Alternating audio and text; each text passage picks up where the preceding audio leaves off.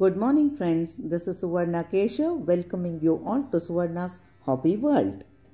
This is the Karya Siddhi Hanuman Temple at the Avaduta Dattapita established by His Holiness Sri Ganapati Sachidananda Swamiji in 1966 in Mysore. This is a 70 feet tall monolithic granite Hanuman statue.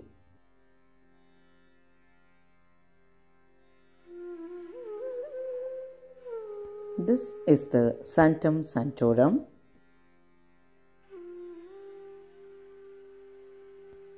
These are the intricately carved and chiseled outer walls of the Hanuman temple.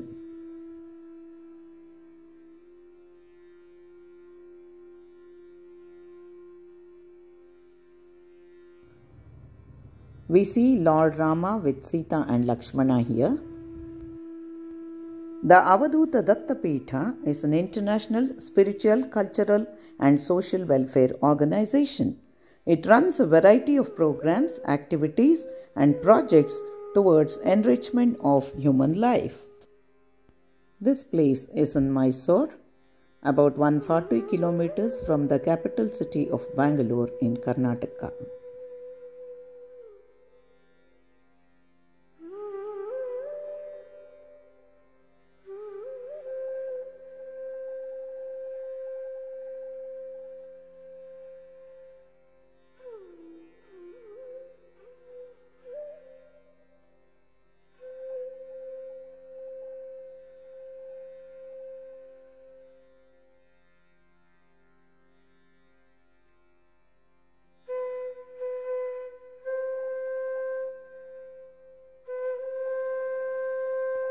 The important events and achievements in the life of Lord Hanuman are depicted in the form of paintings on the walls.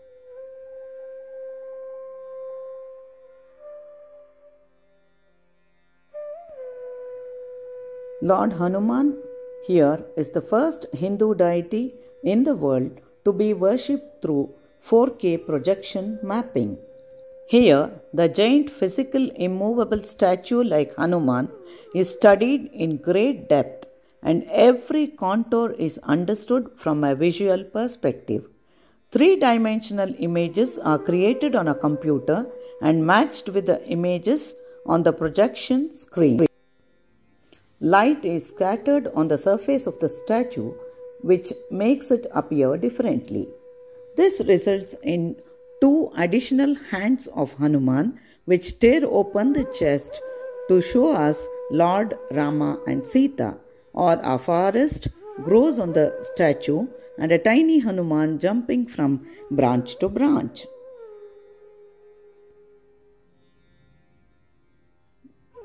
This is the Patala in the basement of the temple.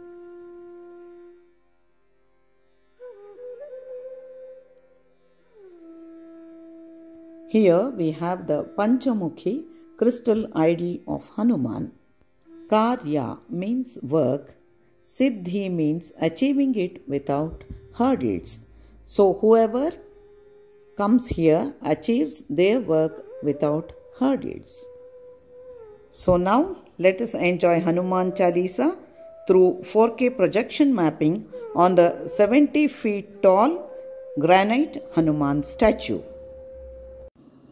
Friends, as the aspect ratios of the two videos don't match, I have posted the 4K mapping of Hanuman Chalisa as a different video. Please watch this also. Thank you for being with me. Please like, share and subscribe to Suvarna's Hobby World. Bye-bye.